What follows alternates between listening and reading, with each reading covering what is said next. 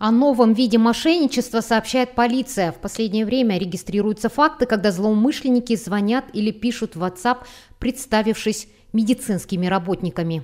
Вам предлагают пройти диспансеризацию или флюорографию, обговаривают с вами дату и просят подтвердить запись по смс-коду. Ни в коем случае не сообщайте этот код. Именно по нему злоумышленники могут завладеть всеми вашими персональными данными и оформить денежные кредиты. В полиции просят оповестить о новом виде мошенничества всех родных и друзей. Обязательно рассказать об этом людям преклонного возраста.